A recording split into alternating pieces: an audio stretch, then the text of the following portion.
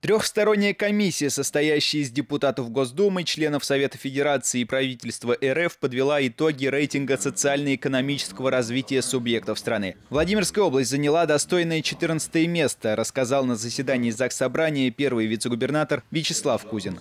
13 место из ЦФО только Липецкая область. В двадцатке ни одного больше субъекта ЦФО нет.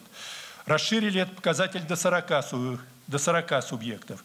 Так вот, 40 субъектах из ЦФО ближе к нам только Московская область, ни одна из других категорий тоже там нет.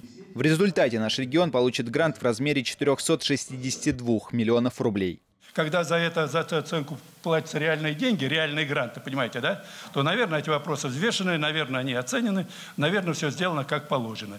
Ну, я думаю, что в следующее уточнение бюджета, после того, как реально мы эти средства получим, мы, наверное, с вами будем советоваться, как мы с вами будем использовать их по назначению.